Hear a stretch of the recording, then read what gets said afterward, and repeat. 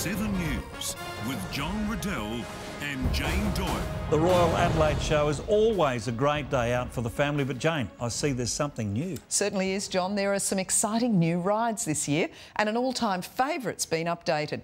Let's cross now to our amateur correspondent at the show. Thanks, Jane. you go. The Royal Adelaide Show is always a favourite with rides fans. This is the one time of the year we all get those great rides in the same place at the same time.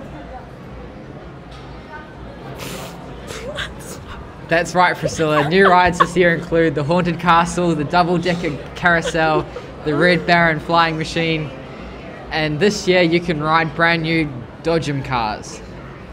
Daniel, I can't wait to crash into my friends with these. Don't forget, all your show favourites will be back, so you can warm up on the classics before trying out the new attractions.